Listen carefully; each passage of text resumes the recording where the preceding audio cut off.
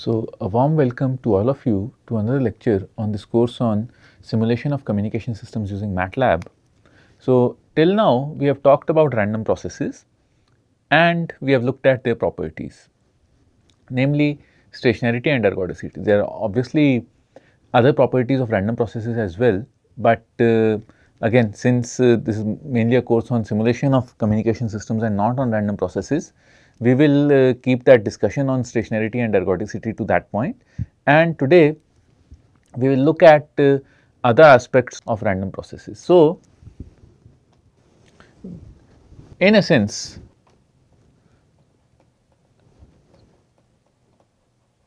random processes are signals.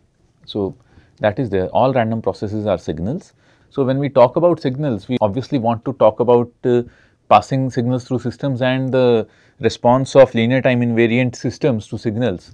That is what uh, all our signals and systems courses are about. We spend about one semester doing that. So, naturally, if we think of uh, random processes as signals, so random processes are also signals.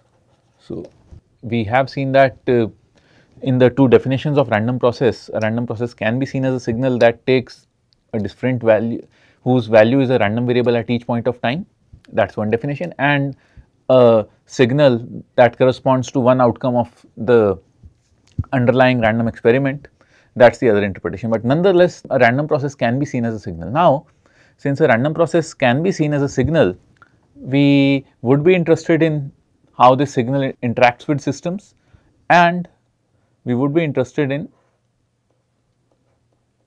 the spectral response or the spectrum of this signal. So, for any discrete time signal equation 1. Create signal xf as in equation 1 represents its DTFT discrete time Fourier transform or is a handle on the contribution of different spectral components. The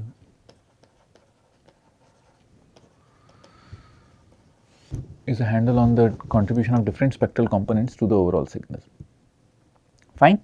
So, that said, we will now talk about uh, the spectra of random signals or random processes. So, when we talk about the spectra of random signals or random processes, we note that this expression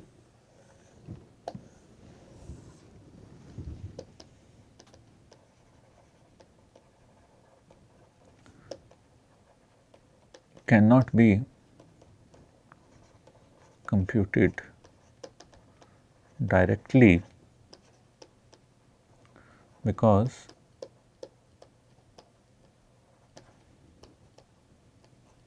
because xn's are random. This expression cannot be computed directly because xn's are random. So, can we do something about it? The answer is yes. Obviously, we can uh, talk about the spectrum of a random signal. So, all of this is under the assumption that xn me also write this here xn is a sample function of a wide-sense stationary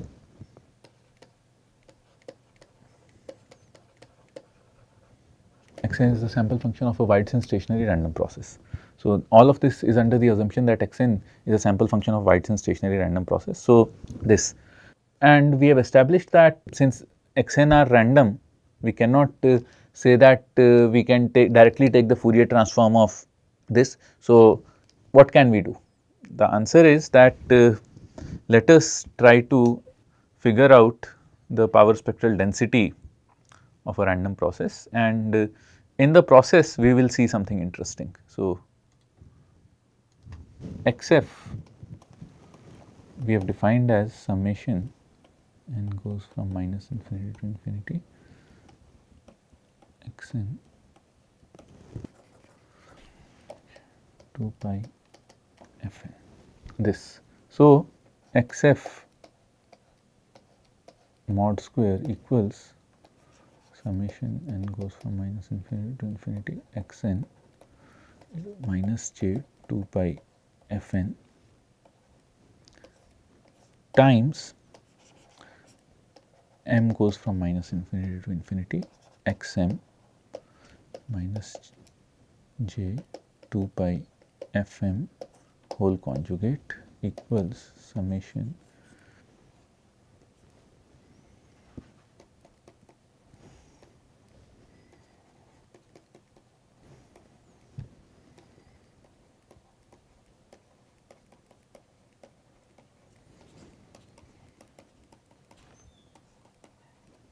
this.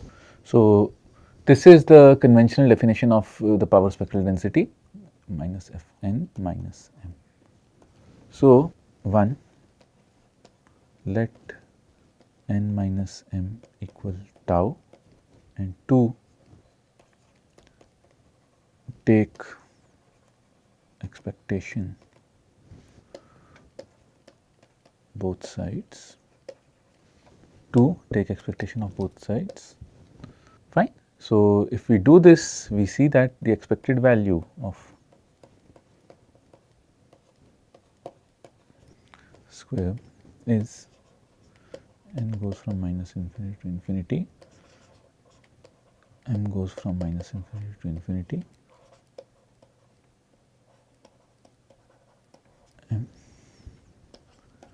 j 2 pi f n minus m. So, substituting n equals tau I get or actually let us do this first and taking expectation on both sides we get this. So, this is the autocorrelation function. Now, letting tau we get so, we get a primitive expansion of this. So, we get expected value of x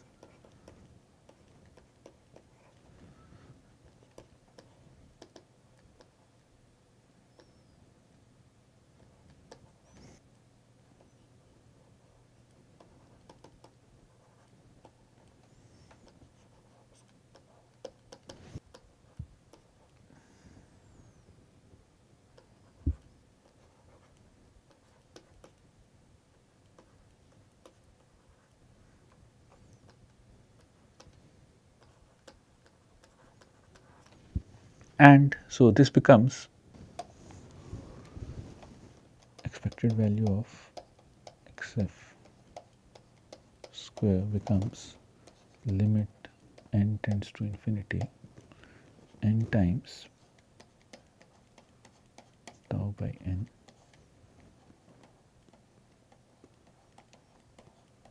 j 2 pi f tau this beast. It becomes this beast and so if I divide by n on both sides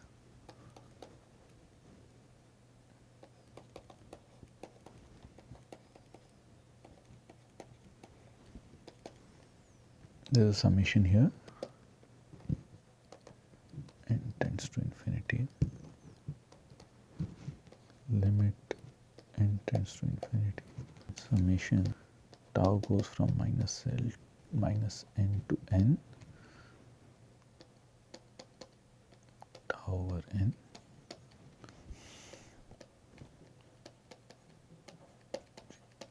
by f tau this beast. So, and this we define as the power spectral density of the random process x. So, this and uh, here it should be tau. So, this is taken from Haykin's textbook on adaptive filter theory. So, this basically forms a Fourier transform pair with the autocorrelation function and it is physically interpreted as the average of the contribution to the total power from the components of a wide-sense stationary stochastic process within frequencies between f. So, I will just correct this to I will change this to our notation f plus df. The average is taken over all the possible. So, this is an ensemble average. So, power spectral density I can say is the ensemble average of the contribution to the total power from the spectral components lying between the range f and f plus df, df being infinitesimally small and naturally the total power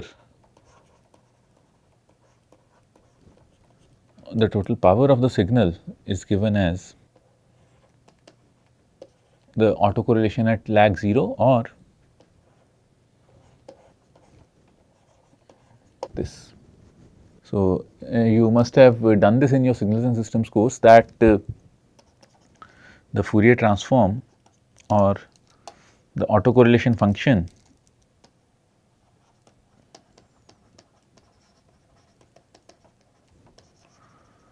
function and the power spectral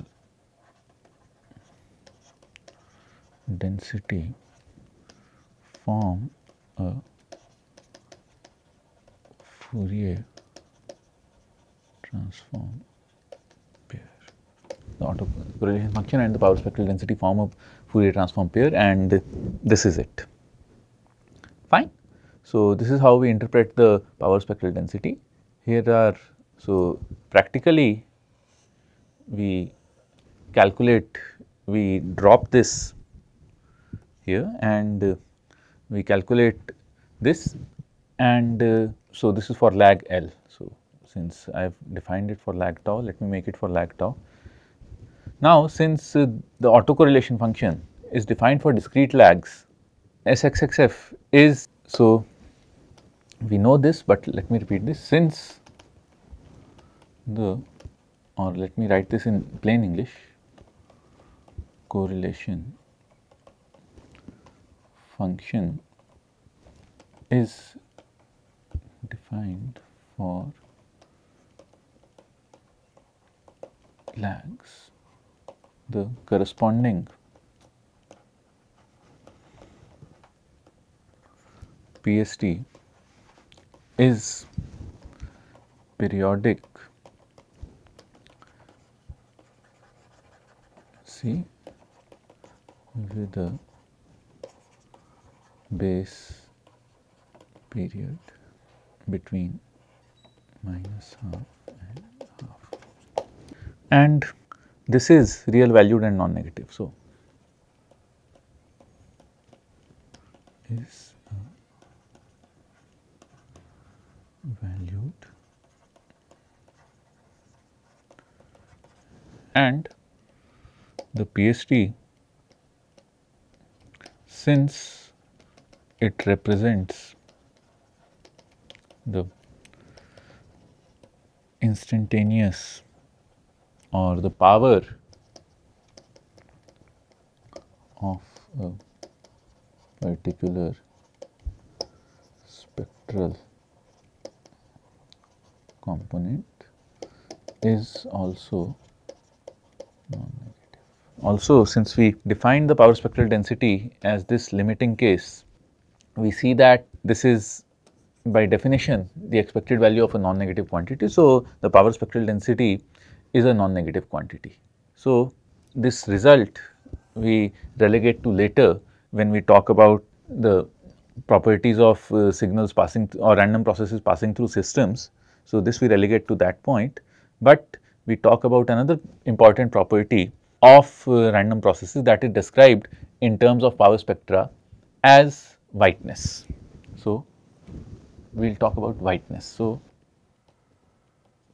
you must have heard the term white noise. So, this whiteness is related to that. So, a random process xn or xn is called white when its power spectral density is a constant function of frequency or remains unaffected by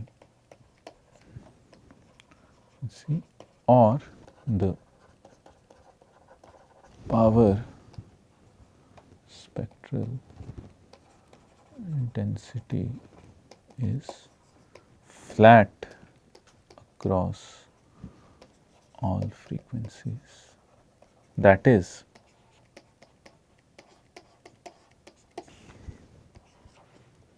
say n naught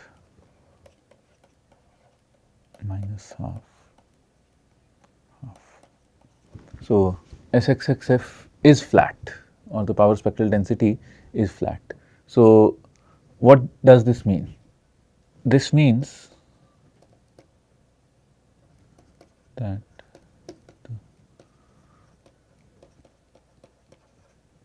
autocorrelation function R x x tau takes the form is such that summation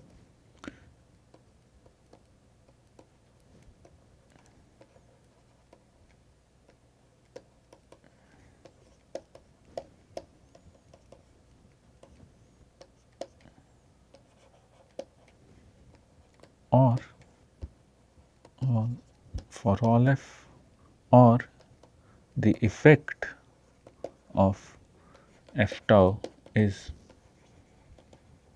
eliminated or r x x tau equal to 0 for all tau not equal to 0 only then can the effect of frequency be altogether eliminated when all the terms that depend on frequency are 0 so, all the terms that depend on frequency will be 0 when for all tau not equal to 0 this exponential or this summation vanishes only then can those terms be not zeros or only then can we eliminate the total effect of frequency.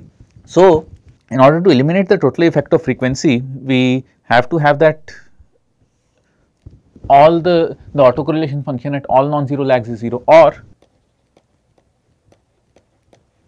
equals or the autocorrelation function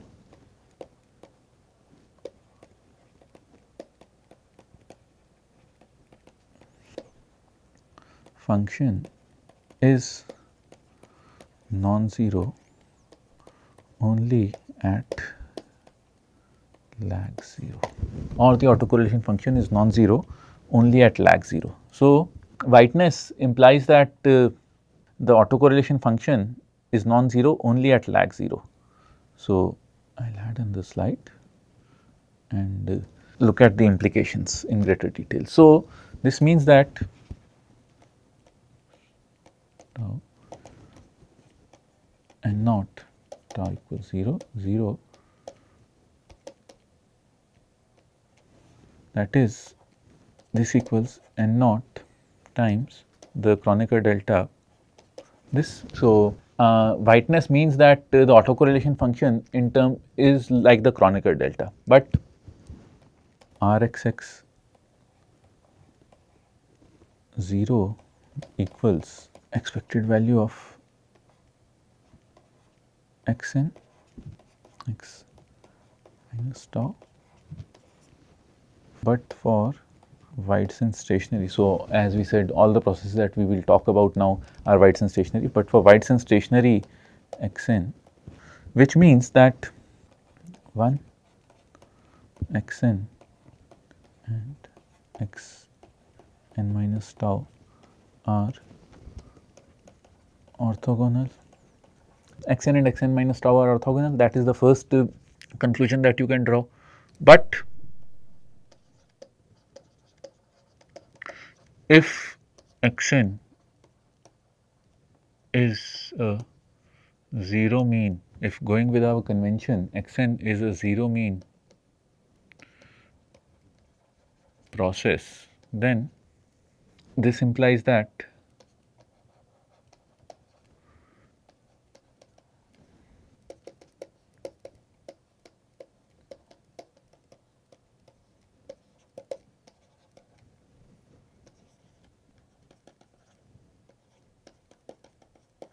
or this piece xn is uncorrelated with all its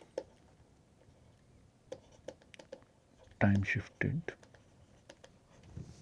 versions or put simply xn is uncorrelated with all its time shifted versions.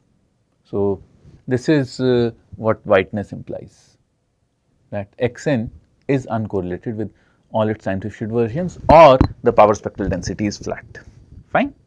So, we are now in a position to identify one of the most important uh, ideas in communication systems or one of the most commonly present noise in communication systems that is the additive white Gaussian noise, additive white Gaussian noise. So, a noise, an unwanted signal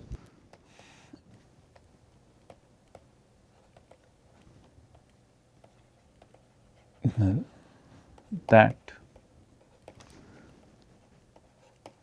adds to the transmitted signal. So, it is additive because it adds to the transmitted signal. It is white or maybe what I can do is can use different colors to emphasize different points. Greening for white. White noise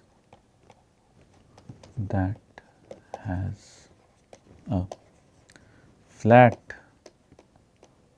power spectral density or is uncorrelated with its time shifted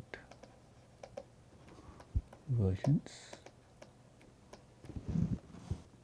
Purple Gaussian. The noise forms a Gaussian random process or all the noise samples are drawn from a Gaussian all the noise samples are drawn from a Gaussian distribution 3. Also since the noise is Gaussian, since the noise is Gaussian and for Gaussian random variables uncorrelatedness implies independence individual samples are independent. Since for Gaussian processes uncorrelatedness implies independence, the individual samples are independent as well. So, whiteness in case of Gaussian noise implies independence. So, this is about additive white Gaussian noise. We will now use MATLAB to simulate additive white Gaussian noise and look at its power spectral density and look at its uh, autocorrelation. So, right now what we will do is we will manually generate or we will use random to generate white Gaussian noise and uh, use the basic definitions of autocorrelation and uh, power spectral density to uh, calculate uh, these terms. Obviously, later we will use the inbuilt MATLAB functions. So, the aim here is to generate n realizations for len. T Gaussian random process. Step 1 to find its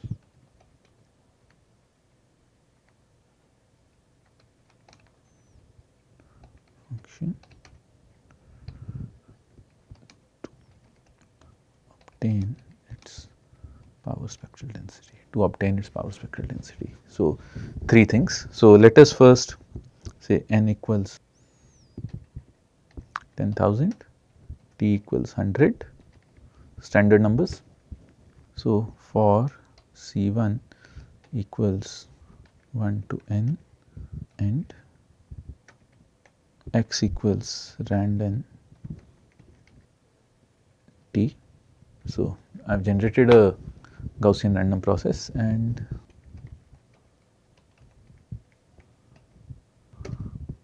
so now let us try to calculate its uh, autocorrelation function. So, let us say that uh, I will pick a random location and correlate it with. So, in order to calculate its correlation function what I will do is, so we will use ergodicity. We will use ergodicity, we will assume everything is ergodic. So, we will use ergodicity and x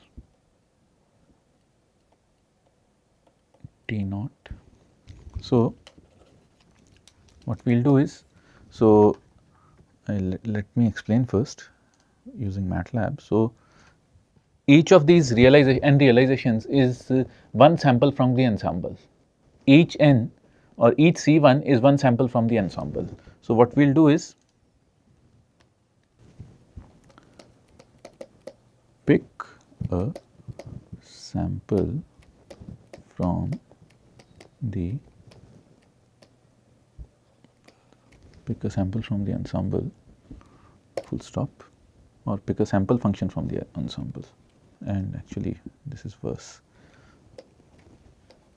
Take a point, calculate T naught n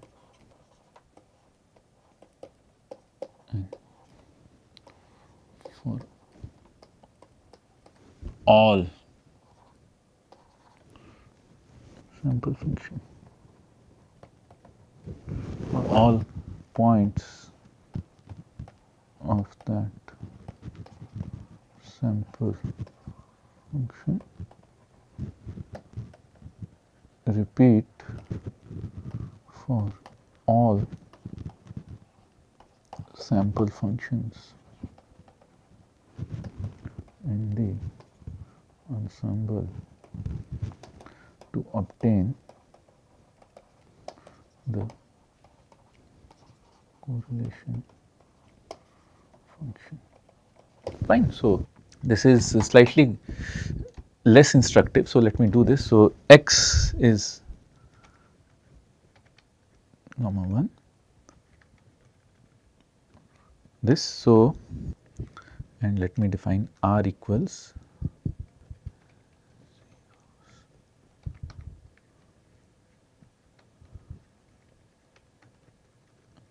So, say x prod equals I randomly pick x 20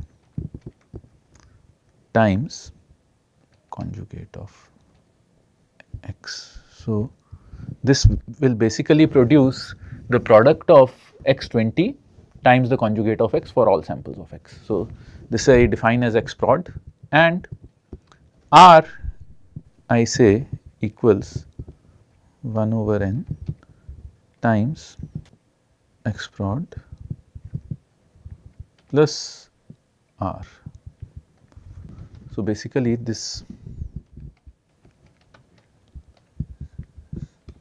the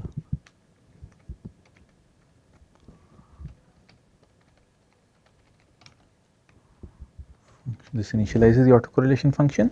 Step 1 step 2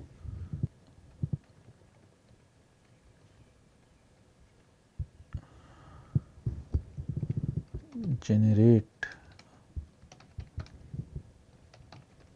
function. Create function for that create the product function for that sample function.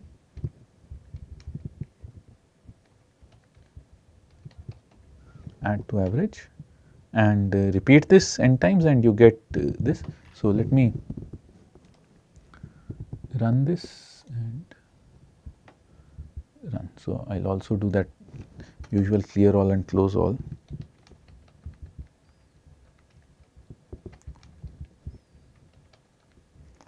And I will plot. So, note that all of these are real. We can extend this for complex as well all in right time. Plot R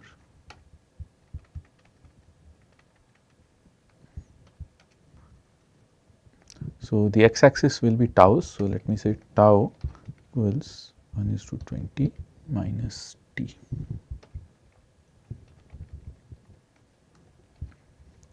These are so 1 not 1 is to 20 1 is to t minus 20 yes.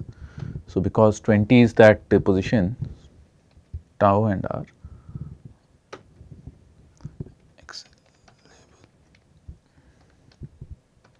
lag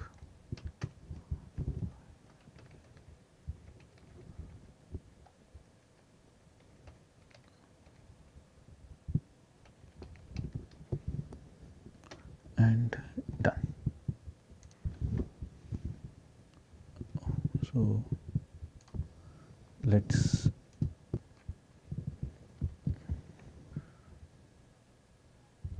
so this is the autocorrelation function you see that uh, there is a sharp peak at uh, lag 0 and otherwise it is close to 0. I can also do this in log log or semi log y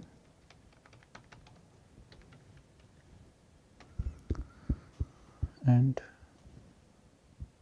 this. So, there is a peak at lag 0 or plot the absolute value as well because in order to avoid that negative data sorry uh, this is wrong this is right and absolute value of r this so this is 10 to power 0 at lag 0 and otherwise it is below 10 to power 2. So, let me increase the number of samples. So, let me do it for 100,000 samples and then what we will see is in the log scale this goes to around 10 to minus 3. So, this is what happens when you increase the number of samples or increase the averaging. So, now let us use our definition of power spectral density and try to find out the power spectral density. So, figure nu and S equals FFT R that is uh, the power spectral density is defined as the Fourier transform of the autocorrelation function and plot S x label f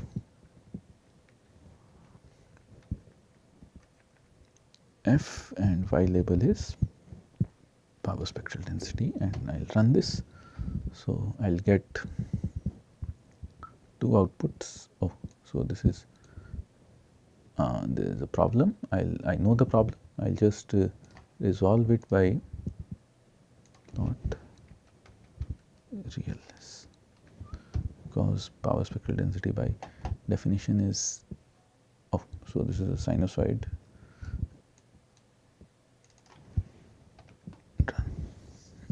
so this and so this is close to 1 as expected fine so we will look at uh, other definitions of power spectral density and uh, other ways of generating these plots in the forthcoming lectures. Thank you